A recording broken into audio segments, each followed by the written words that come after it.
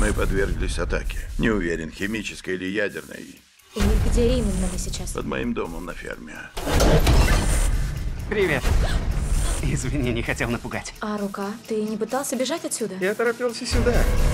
Там женщина. Она просит впустить ее. Ты ей не поможешь! Ей уже конец! Что это? Тихо.